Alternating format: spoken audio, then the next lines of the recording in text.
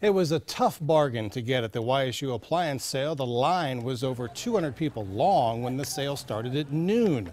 Now, the supply of appliances was limited. Supply could not keep up with demand for the refrigerators, dishwashers, microwaves, and ceiling fans. It was a great bargain, which was why the line started forming at 8:30 this morning. And the sale was a big deal for those looking to save money.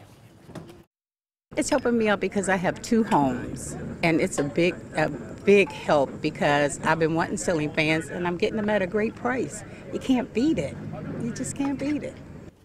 The main rule for the sale was that when you paid for the item, you had to move it immediately. The university says the sale was open to the public and it followed state guidelines on pricing and not putting a limit on the amount people could buy.